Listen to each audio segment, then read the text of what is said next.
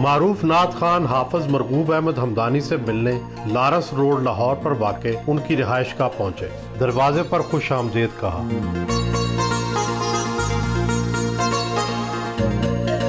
आपके नाम के साथ हमदानी है। हाँ जी। हमदान तो ईरान का शहर है। हाँ जी ईरान का शहर है। आपकी ये नस्बत कैसे तय हुई? मेरी पैदाइश तो लाहौर की है ना। वाले साहब लुधियाना से तशरीफ़ लाए थे इंडिया से। तो उनको ख्वाब में ये बुज़ुर्ग आए थे सैयद अमीर कबीर सैयद अली हमदानी उन्हें बानिया मुसलमानी कहा जाता है। उन्होंने ईरान से कश्मीर में आकर हमारा फैमिली जो है कश्मीरी ख़ानदान है ताल्लुक हमारा कश्मीरी है ना। तो उन्होंने कश्मीर में आकर तबलीग की थी। उनसे पहले कश्मीर में ऐसी तबलीग नहीं हुई थी। तो उनको अमीर कबीर सैयद अली हमदानी बानी मुसलमानी कहा जाता है। वो वाले साहब को ख्वाब में आए थे। तो वाले साहब के नाम के साथ हमदानी शुरू हुआ। उसके हमारे दादाजी के साथ हमदानी नहीं था। मतलब वाले साहब को ख्वाब में बुज़ुर्ग आए थे फिर वाले साहब ने ये नस्बत बनाई और आज नहीं। मैं को औलाद कई लोग हमें सैयद हमें जाली सैयद बनने का शौक़ नहीं है ना। तो कई लोग सैयद भी कहते होंगे हम भाई हम सैयद नहीं है उनकी औलाद नहीं है सिर्फ़ नस्बत है। उनसे एक रूहानी नस्बत का ताल्लुक है। ज़रिया रोज़गार नात खानी है हमत है या कोई और ज़राए हैं? नहीं आपने बड़ा अच्छा सवाल किया। वो अल्लाह का शुक्र है इसको नात खानी को हमने पेशा नहीं बनाया। हम सौदेबाजी करके नहीं जाते। ठीक है मोहब्बत से जो बुलाते हैं, लोग हम पहुँच जाते हैं। तो ज़रिए माशा ताला ने हमारा हमत का बनाया। सेवेंटी सेवन में तिबिया कॉलेज में आयत इस्लाम चौक यतीम खाना से सेवेंटी सेवन में डिग्री ली थी। चार साल का कोर्स पढ़ा था, फिर डिग्री मिलती है। तो सेवेंटी सेवन में हमत पास की थी। और वालद साहब ने दवाखाना इंडिया से आके लुधियाना से वालद साहब का ताल्लुक था रहमत इंडिया से आके अंदरून शहर में एक दवाखाना उन्होंने सेलेक्ट किया। उसके ऊपर है मेरी पैदाइश लाहौर की है। तो उसके ऊपर ही माशाल्लाह मकान और नीचे दवाखाना। और दवाखाना भी इतना खूबसूरत कि ऊपर काफ़ी इस जगह से काफ़ी वसी दवाखाना है और ऊपर उसके गैलरी बनी हुई है। गैलरी के साथ खिड़कियाँ हैं। गर्मियों में वहाँ एसी चलाने की ज़रूरत नहीं पड़ती। इतना अच्छा वो दवाखाना। क्या शोभा तिप से गुजारा हो जाता है? हाँ जी अल्लाह का शुक्र है। बहुत ज़्यादा नहीं उसकी इश्तहारी कीम नहीं है ना। हम्म। डिग्री वाला कीम है तो बस अल्लाह ताला खुद ही मरीज़ भेजता है। लोकल भी आते हैं। मरले वाले भी कुछ आते हैं, कुछ दूसरे इलाकों से भी आते हैं। गुमटी बाज़ार में है रंग महल के पास, लोहारी से अंदर। पिछले दिनों एक बंदा लाहौर का आया था अपनी दवाई लेने। उसको किसी और, जिसको शिफा होती है, वो दूसरों को कहते हैं, वहाँ जाओ। तो वो बंदा लाहौर का ही था। उसको फ़ायदा हुआ तो उसने मरदान में अपने बुज़ुर्गों से रबता किया। उनका कुछ था मसला, पेशाब की शिद्दत का। रात को कहते हैं, चार दफ़ा पेशाब आते हैं। तो उनको फिर बंदे ने आठ दिन की दवाई उनको भेज दी। और अल्लाह ताला ने आठ दिन में इतना फ़र्क हुआ कहते जब एक दो दफ़ा रह गया। फिर वो खुद अपनी बेगम को लेके वो आ गया मर्दान से बुज़ुर्ग जो ना दवाई लेने। इस तरह भी अल्लाह ताला बाहर से भी भेजता मरीज़ लोकल भी आते हैं। अमदानी साहब ये जो सुरख टोपी है ये यहाँ पे तो नहीं मिलती। ये किस चीज़ की निशानी है? कहाँ से लेते हैं आप? एक बुज़ुर्ग थे यहाँ लाहौर के। ख्वाजा साहब थे वहाँ मदीना शरीफ में मस्जिद नबी में मुझे मिले थे। पता नहीं बीस पच्चीस साल पुरानी बात होगी। तो वो उन्होंने लाल टोपी पहनी हुई थी। वो वहाँ पे मुकीम थे मदीना शरीफ में उनका क़्याम था। वो पहली दफ़ा मिले वो खुद ही आकर मिले मेरे वाकफ़ नहीं थे लेकिन वो शौक वाले थे ना मुझे पहचाना तो उन्होंने मिले। उन्होंने पहनी थी उनको देख के फिर मैंने शुरू मदीना शरीफ से ये सब सबक और तबरक मिला। ये टोपी मदीना शरीफ से मिल मिलती है? नहीं वहाँ से भी लाते हैं ये कोई और किसी दोस्त ने गिफ्ट भी किया हुआ है। लेकिन मदीना शरीफ से जब कोई नज़र आ जाए वहाँ से लाल ले आते हैं। पाकिस्तान में तो नहीं मिलती है? नहीं नहीं आपकी बात है ये कम मिलती है। आपने हज अकबर भी किया उन्नीस सौ तिरासी में और अलहाज हैं आप कई हज कर चुके हैं। क्या मक्का मदीना में भी जाकर अपना कलाम सुनाते हैं? जी अलहमदिल्ला लेकिन ये कि बुलंद आवाज़ से नहीं वहाँ पढ़ा जाता आहिस्ता आवाज़ में पढ़ा जाता है। तो मक्का शरीफ में फिर खाना काबा की हाज़िरी के हम कलाम सुना देते हैं। हम्म। लेकिन मस्जिद नबी में मदीना बाग में लोग होटलों में महफिलें सजा लेते हैं। हम्म। वहाँ पे इस तरह लोगों को शौक़ होता है। नात खानी में भी नए अंदाज आ गए। पैसे ऊपर फेंके जाते हैं वेलें दी जाती हैं। क्या ये मुनासिब है? ये आपने बड़ा अच्छा सवाल किया। पहले कराम इस चीज़ पर करते थे कुछ तबसरा करते थे या मना करते थे अब वो भी नहीं मना करते। और रिवाज ही ऐसा आ गया लोगों का दिमाग और दिन ऐसा बन गया। लेकिन इसमें ऊपर निशावर करने से बेअदबी हो जाती बड़े भाई महबूब साहब भी कई दफ़ा माइक पे कह देते थे कि भाई नोट किसी पर चलाने या हम पे चलाने तो ऐसे निशावर ना करें आराम से रखें आके अदब से। पढ़ने वाला भी अदब में रहता है सुनने वाले भी अदब में रहते हैं। नात के साथ अब तो मौसीकी भी शामिल हो गई है। ये किस हद तक जायज़ है? बस लोगों का कवाली का शौक़ गाने का शौक़ था इस इस वजह से पढ़ने वालों ने भी सुनने वालों को भी ये शौक़ दोनों शौक़ पैदा हो गए। पढ़ने वालों ने मौसीकी शुरू कर दी वो दफ़का आया वो बच्चियों ने बस बजाई थी रसूल पाक वसल्लम के मदीना पाक आमद पर एक दफ़ा बजी थी। उसके बाद तो कहीं नहीं बजी। लेकिन ठीक है अब हम लोगों का देनी ऐसा भी ऐसे ऐसे लोगों ने करना। है बड़े बड़े दाढ़ी वाले लोग ऐसे ऐसे झूम रहे होते हैं। आपने कभी दफ के साथ नात पढ़ी है? ऑफ़र तो हुई थी पीटीवी से काफ़ी ऑफ़र हुई। और भी चैनल से हुई कई दफ़ा।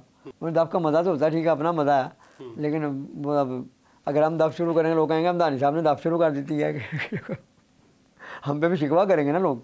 दूसरों को सुन लेते हैं हमारा नहीं सुनेंगे दफ से नात के लिए जो कलाम है ये कैसे सेलेक्ट करते हैं? क्या किसी ख़ास शायर का होता है? हाँ जी बिल्कुल आपकी बात मज़ा बिल्कुल। इसमें उसके लिए भी अब मौजूदा दौर में थोड़ा सा माहौल का देखना पड़ता है कि जहाँ सुलझे हुए लोग इल्मी लोग हों फिर वहाँ इल्मी लोगों का कलाम पढ़ा जाता है। हफीज़ ताइब साहब का हो गया या और आज़म चिश्ती साहब का कलाम ऐसे लोगों के अच्छे अच्छे लोगों के कलाम। आला हज़रत का मौलाना रजा खान साहब बरेलवी रहमत उनका कलाम। पीर मेर अली शाह साहब का कलाम मतलब अच्छे लोगों में।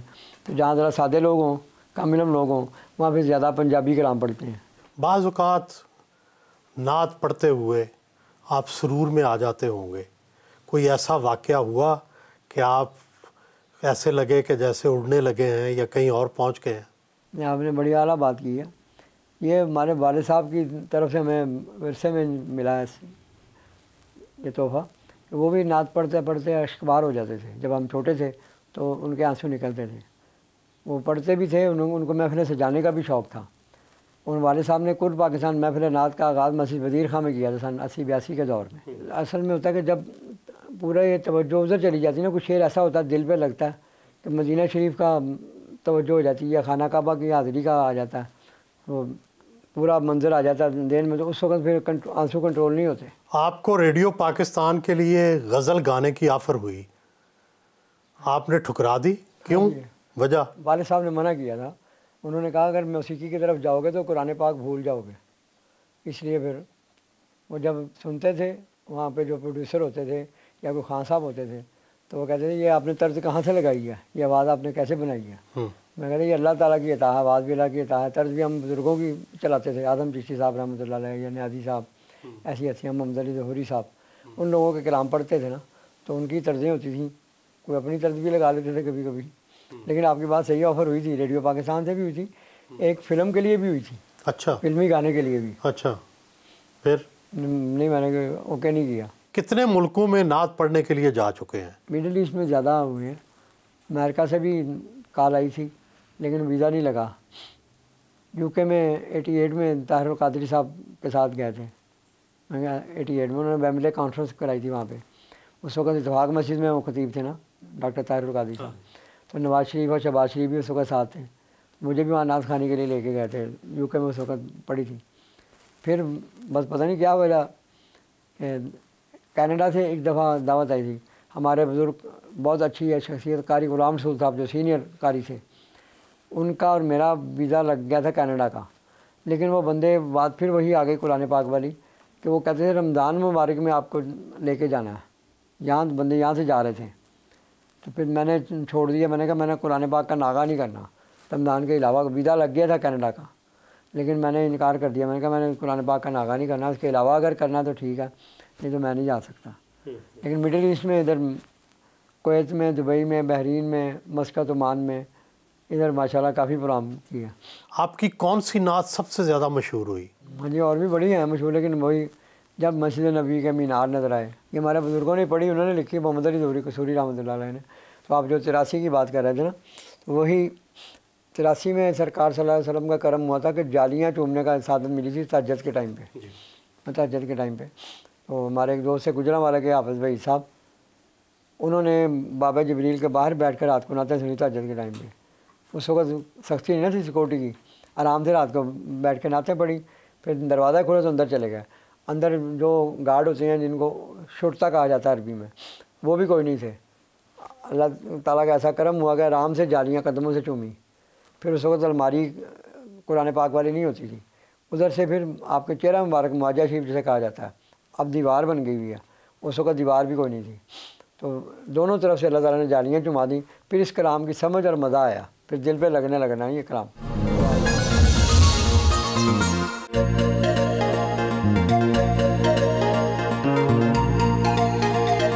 बेटे और साफ़ हमदानी के हमरा दाता दरबार पहुँचे।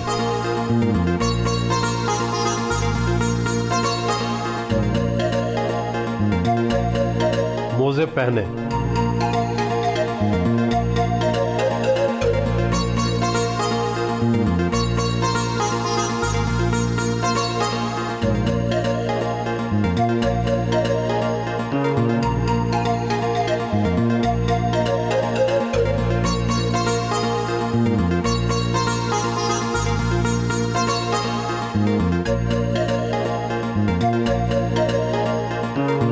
दाता दरबार पर चादर और फूल चढ़ाए।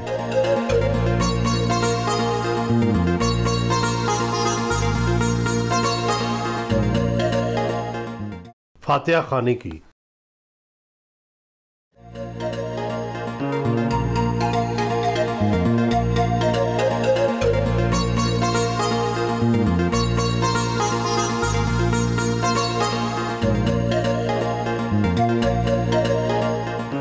सदारती अवार्ड याफ्ता पाकिस्तान के मरूफ नात खान हैं। ये बताइए कि पाँच दहाइयाँ पहले आपने नात का जो सफ़र शुरू किया था वो कैसा रहा? उस दौर में हम छोटी उम्र में वाले साहब के जेर साया उनको पहले से वाले साहब भी नात पढ़ते थे और उनको महफिल से जाने का भी शौक़ था। तो उनके साथ फिर उनके जेर साया पढ़ पढ़ के हमें अल्लाह ताला ने फिर बरकतें ता फरमाई। आपकी अपने बड़े भाई महबूब अहमद हमदानी के साथ बड़ी जोड़ी थी। अब आप अकेले रह गए उनके जाने के बाद कैसा लगता है? जुदाई का बड़ा दुख होता है। आपकी बात सही है आपने याद दहानी कराई है। जब कोई चैनल नहीं था तो एक पी टी वी पर हमारी सारी चलती थी नाते। फिर और चैनलों पर भी हम बड़े इकट्ठे चलते रहे। अब मेरा बेटा मसाफ हमदानी मेरा साथी बन गया हुआ है। वो, वो लेकिन आपकी बात है वो जो दोस्त कहते आपकी जोड़ी जो है ना जोड़ी ख़त्म हो गई। तो महबूब भाई चले गए दुनिया से और अल्लाह ताला उन पर करोड़ों रहमत नादिल फरमाए। बड़ा प्यार था हमारा भाइयों का आपस में। क्या नात की बाकायदा तालीम हासिल की किसी उस्ताद से? हाँ जी हमारे उस्ताद हमारे वालद मोहतरम। वही थे। उन्होंने नात की भी और उन्होंने हाफज कुरान पहले बनाया था ना नात खान तो बाद में बने ना। पहले वाले साहब ने हाफज कुरान बनाया था। पचपन साल उनकी दुआओं से तरावी पढ़ाई है कि मस्जिद में पचपन साल फिफ्टी फाइव ईयर तो वो कुरान पाक की बरकतों से फिर अल्लाह ताला की रहमत से करम से फिर आवाज़ भी अल्लाह ताला अभी तक ऐसी अच्छी चला रहा है कि लोग खुश होते हैं कि भाई ऐसी बात कहाँ से चल रही मैं कहता हूँ अल्लाह के फजल करम से कुरान पाक की बरकत से चलती। आप किरत में भी गोल्ड मेडल हैं लेकिन आपने नात खानी के शोबे को अपनाया किरत को नहीं। इसकी क्या वजह है? वो किरत में ज़्यादा ध्यान नहीं रहा नात खानी में आ गए और हिकमत की तरफ़ चले गए ना। हिकमत चलाते हुए भी पैंतालीस साल हो गए ना। आपने हिफ्ज़ कुरान तो देवबंद के मदरसा तजवीदुल कुरान से किया लेकिन आपका तलक ज़्यादा बरेलवी मसलक से है। ये तजाद कैसा ये वालद साहब की मोहब्बत ऐसी थी, उनकी दोनों फ़िरक़ों से, फ़िरका नहीं फ़िरका बंदी से उनको शौक़ नहीं ना था। तो उनके देवबंदी, उलमाए कराम भी, उनके दोस्त से बरेलवी भी दोनों भी। और मुझे इसलिए उन्होंने वहाँ कराया था कि मेरे उस्ताद देवबंदी जो थे, कारी फजल करीम साहब, मदरसा तजवीज़ुल कुरान रंगमहल के अंदर जाके, वो मेरे से बचपन में नात सुनते थे कारी साहब। हमारे, ऐसे देवबंदियों से हमारा प्यार। फिर हमें, मैं कहता हूँ कि मौलाना अशरफ अली थानवी साहब का जो एक कॉल है वो मुझे पसंद है और मैं आगे लोगों में भी पसंद। उन्होंने कहा हुआ कि अपना मसलक छोड़ो ना दूसरे का मसलक छेड़ो ना।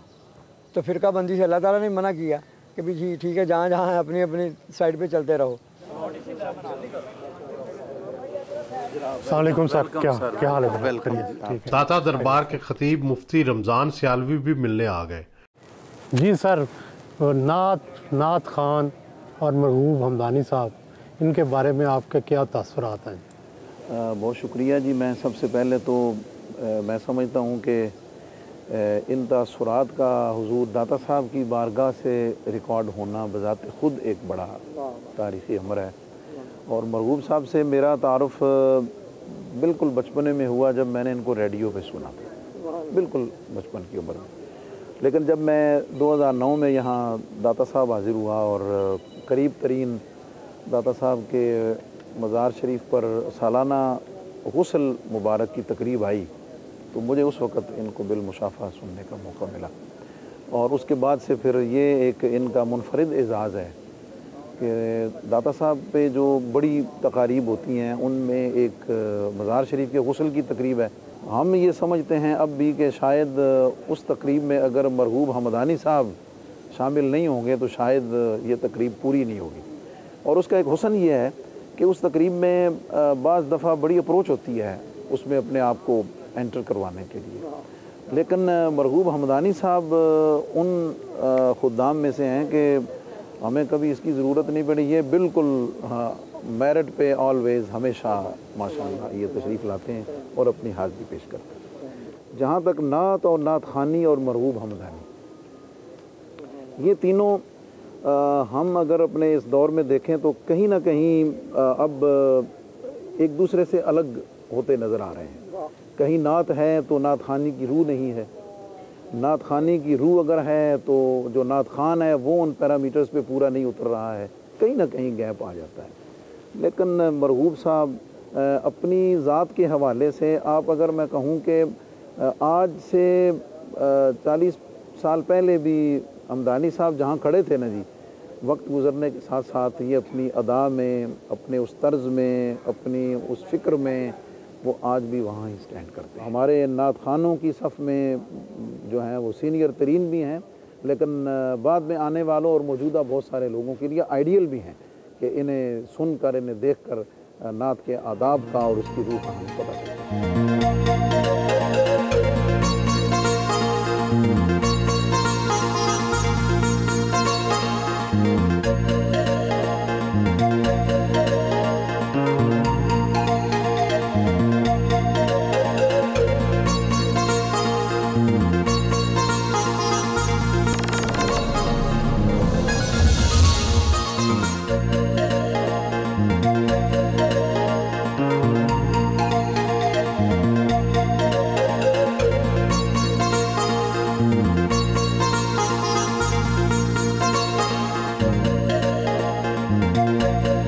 वापस घर पहुँचे।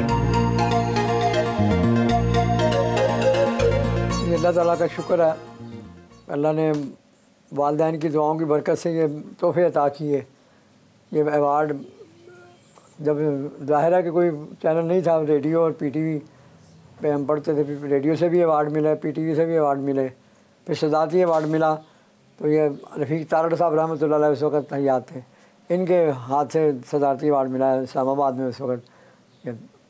अता हुआ। और बाकी ये तोहफे जो है, ये सेमिनारों में मुख्तलिफ़ कंपनियों की तरफ़ से, मुख्तलिफ़ एजेंसियों की तरफ़ से, किसी यूनिवर्सिटी की तरफ़ से, इस तरह मुख्तलिफ़ इदारों की तरफ़ से ये आते रहें। ये सारे तोहफे अल्लाह ताला ने हजूर रसूल पाक सल्लल्लाहु अलैहि वसल्लम की नात की बरकत से दिए सारे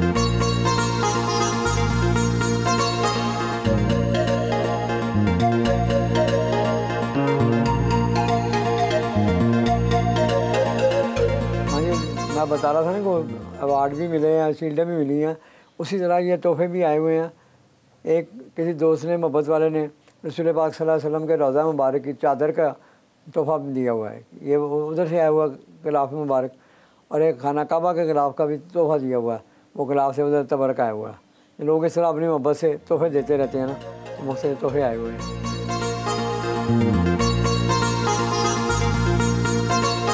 दानी साहब आजकल नात खान भी बड़े कमर्शियल हो गए हैं। महफिल मिलाद या नात खानी की महफिल में आने के लिए बाकायदा पैसे डिमांड करते हैं। आप भी कोई तकाजा करते हैं रकम का? नहीं कोई नहीं करते। जितने कोई दे दे। हाँ कोई दे दे तो फिर भी बिस्मिल्लाह अल्लाह का तोहफा होता है कबूल कर लेते हैं। ना ना दे दो शिकवा नहीं करते। और अल्लाह ताला दूसरी जगह से कसरे निकाल देता। एक जगह अगर कम होते हैं किसी और जगह अल्लाह ताला उससे ज़्यादा माशाल्लाह उनके लगा देता। क्या नात खानी की ये कमर्शलाइजेशन ठीक है? ये ही इसको जवाब देंगे मैं नहीं दूँगा। हमारे दोस्त हैं सारे। आपने बड़े बड़े लोगों के सामने वज़र आज़म वज़राए आला हाँ और वी आई पीज़ के सामने कलाम सुनाया। नवाज़ शरीफ साहब को कौन सी नात पसंद है और कौन वी आई पीज़ आपसे नाते सुनते रहे? उनके वाले साहब तो वो पसंद करते थे पंजाबी का कलाम या शरीफ साहब। आखी सोने नुआए नहीं जो तेरा गुजर हो गया मैं मर के भी नहीं मरदा जो तेरी नज़र हो गए ये शौक़ से सुनते थे कुछ नहीं माँगता शाहों से। अमन नदीम कासमी साहब का कलाम हम्म। कुछ नहीं माँगता शाहों से ये शायदा तेरा। इसकी ये बड़े मियाँ साहब मियाँ शरीफ साहब सुनते थे। नहीं ये नवाज़ साहब नवाज़ साहब सुनते थे। नवाज़ साहब सुनते थे। साहब वो अखी सुनने आए नहीं जे तेरा गुजर हो मैं मर के भी नहीं मरदा जे तेरा तेरी नज़र होवे। क्यों फ़िक्र करें यारा मा साहब ये घेरे था उन सत्ते ही खैरा ने जिदा साई मगर होवे। और वज़ीर अजम मियाँ शहबाज शरीफ साहब को कौन सी नात पसंद है? शहबाज शरीफ साहब एक्सपो सेंटर में एक दफ़ा ये इनका पोल्ट्री फार्म वालों का प्रोग्राम था। उनको बड़े प्रोग्रामों में बड़ा हुआ लेकिन वो एक दफ़ा रो पड़े थे इस कलाम पे करम माँगता हूँ ताम माँगता हूँ। शहबाज इस पे रो पड़े थे आँसू निकल पड़े थे। बाकायदा अखबार में भी खबर में लगाई थी उन्होंने क्या जब वो कोई लिखने लिखाने के मसरूफ ना ना फिर बड़े वो भी शौक से सुनते हैं। मुशरफ साहब एक दफ़ा इस्लामाबाद में मेरी चौदह अगस्त को बड़े प्रोग्रामों में हाजिरी हुई। काफ़ी प्रोग्रामों में जियाउल साहब के दौर जियाउल साहब ने भी सुना उनके बाद जितने भी सदर वज़ीर अजम आए, उनके सामने अल्लाह ताला ने बड़ा मौका दिया। चौदह अगस्त को इस्लामाबाद बड़ी हाजिरी हुई हर साल। तो मुशरफ साहब उठ के मुझे मिले थे सीट से। ऑन कैमरे चल रहे थे सब कुछ। लेकिन उनको पता नहीं, मैंने कहा उनको पता नहीं, तर्ज पसंद आई है या मौसीकी के शौकीन थे ना वो? लेकिन मैं कहा उनको पता नहीं, कलाम पसंद आया या वहाँ भी उन्हें चैम्बर ऑफ़ कॉमर्स में एक दफ़ा आए थे यहाँ पे, यहाँ भी उठ के मिले थे। आपने अरबी और दूसरे नात खान भी सुने होंगे। दुनिया का कौन सा नात खान सबसे पसंद है? नहीं अब तो इस मौजूदा दौर में तो बड़े आ गए ना। नौजवान सारे हमारे दोस्त हैं अच्छे अच्छे बहुत अच्छा पढ़ने वाले हैं। लेकिन बुज़ुर्गों में हम सबसे नंबर वन जो थे वो मोहम्मद आज़म चिश्ती साहब रहमत है उनके जेर साया हमने बड़ा पढ़ा वो हमारे वालद साहब की भाइयों से उनके बड़े भाइयों से दोस्ती भी थी उनकी आज़म चिश्ती साहब रहमत है तो उन वो मैं वो भी पसंद थे उनके साथ फिर जिनका ये कलाम मीनार नज़र आए बाहर के लोगों के भी सुनी है नातें आपने अरबियों की और दूसरों की उनके नाम नहीं पता सुनी तो हैं। मैं सुनी भी है देखी भी है टीवी पे या यूट्यूब पे देखी है लेकिन उनके नाम नहीं पता। अब तो नात खान बड़े मुनफरद रंगों की टोपियाँ बड़े लिबास खुश रंग पहन के आते हैं। ये कैसा लगता है? हर जगह कैमरे चले होते हैं ना किसी जगह मीडिया वाले होते हैं किसी का वैसे वीडियो बन रही होती है। इसलिए फिर वो रंगदार सूट फैशनी पहने जाते हैं ताकि भी ज़रा फ़ोटो अच्छी बने। ये आपने लाल टोपी का जो ज़िक्र किया था ना? ये। वासिफ नागी साहब से पहले प्रोफेसर हसन रिजवी साहब होते थे। वो जब सेमिनार करते थे वो मुझे फ़ोन पे कहते थे प्रोफेसर हसन रिजवी रमदानी साहब लाल टोपी पहन के आनी। कितने साल होगा उनको दुनिया से बहुत साल गए हो। हाँ ये इतनी पुरानी पहनी हुई मैंने आप देख लें याद करें। हर नात की एक मखसूस तर्ज होती है लय होती है। ये कैसे सेलेक्ट करते हैं? एक खान साहब ने मुझे सवाल किया था ये कि आप किस तरह आप तैयारी करते हैं किस तरह मैंने मैंने कहा जी उनको टारी कहते हैं। जो खान साहब आन होते हैं ना गाने वाले हाँ। म्यूज़िक वाले उनको टारी कहते हैं। तो हम लोगों को कहते हैं अताई। हम्म, अताई कहते हैं वो लोग हमें अताई कहते हैं। मैं कहा आप लोगों ने कहा हुआ कि अताई अताई का मतलब अल्लाह की अता। अल्लाह की तरफ़ से अता होती है। वो खुद ही कोई कलाम देखते हैं तो उस पर देखते हैं कि इस पर कौन सी तर्ज लगेगी। दो तीन चार तर्जों में से कोई सिलेक्ट हो जाती है, फिर वो तर्ज पे शुरू कर देते हैं। बाज़ अवत लोग गानों की तर्ज पर भी नातें पढ़ देते हैं। बाद अवकात नहीं अक्सर अवकात ये ठीक है। मैं कहा बाद अवकात नहीं अक्सर अवकात अब रिवाज ही ये चल गया। लेकिन पढ़ने वाले बाद में पढ़ते हैं। शायरों ने अब वो तर्ज पहले लेके उस तर्ज के मुताबिक कलाम लिखते हैं। पंजाबी के काफ़ी शायर ऐसे हैं कि जो गाने की तर्ज पर लिखते हैं। पहले लिखते हैं गाने की तर्ज पर फिर मशहूर नात खानों को देते हैं कि ये कलाम तुमने पढ़ना है ये तर्ज इस तर्ज पर पढ़ना है। ये बताएँ कि आज तक जो नात खानी का सिलसिला है आपका सबसे ज़्यादा हदिया किसने दिया और कब दिया और कितना दिया? नहीं वो तो अल्लाह का शुक्र है बड़े लाहौर में भी लाहौर से बाहर भी पाकिस्तान से बाहर भी। सबसे ज़्यादा कितना दिया? पचास हज़ार तक भी दिए हैं पचास हज़ार से ज़्यादा भी दिए हैं दिए हैं लोगों ने। मैं कम भी देते हैं थोड़े थोड़े भी देते हैं ज़्यादा भी देते हैं लेकिन हम शिकवा नहीं करते ना डिमांड नहीं है। जैसे किसी ने देना ठीक है अल्लाह का शुक्र है। वही मैं अल्लाह किसी जगह से कम हुए हैं तो कोई और जगह वो चालीस पचास दे रहा है पचास से ज़्यादा भी दे रहा है सत्तर अस्सी भी दे देते हैं ठीक है? हमें पता नहीं होता कि ये देंगे। वो अल्लाह की तरफ़ से आ रहा हो ना सरकार की ज़िक्र की बरकतों से आ रहा होता है। कभी किसी गैर मुल्की सरबराह ने भी आपकी तारीफ़ की? हिंदुस्तान में इंडिया में गए थे। जी। प्रोफेसर हसन रिजवी कई दफ़ा लेके जाता रहा वहाँ आलमी कॉन्फ्रेंसों में लेकिन उसके अलावा हम वैसे उर्स पे गए थे ख्वाजा निज़ामुद्दीन औलिया रहमतुल्लाह लेके उर्स पे वो दिल्ली में उनका मदार है। वहाँ फिर इंदिरा गांधी का इलेक्शन का दौर था। वहाँ पे महफिल उर्स के मौके पर महफिल सजी तो फिर स्टेज पर हमें बुला के बिठाया गया। वहाँ फिर मैंने कलाम पढ़ा तो मैं इंदिरा गांधी ने बड़ी तालियाँ बजा के दाद दी थी। महफिल में बैठी हुई थी। उनके इलेक्शन होने वाले थे ना तो इसलिए फिर वो स्टेज पे आ गई थी ना। ज़ाहिर है कि वोट लेने के सब तरफ़ से वोट आ जाएँ। तो उन्होंने इंदिरा गांधी ने बड़ी तारीफ़ की थी। क्या सुनाया था आपने? वो आरफाना कलाम आरफ खड़ी शरीफ का। ये मक साहब क्योंकि वो सिख हजरात भी वो पंजाबी का कलाम बड़ा पसंद करते हैं। रहमत दा दरिया इलाही।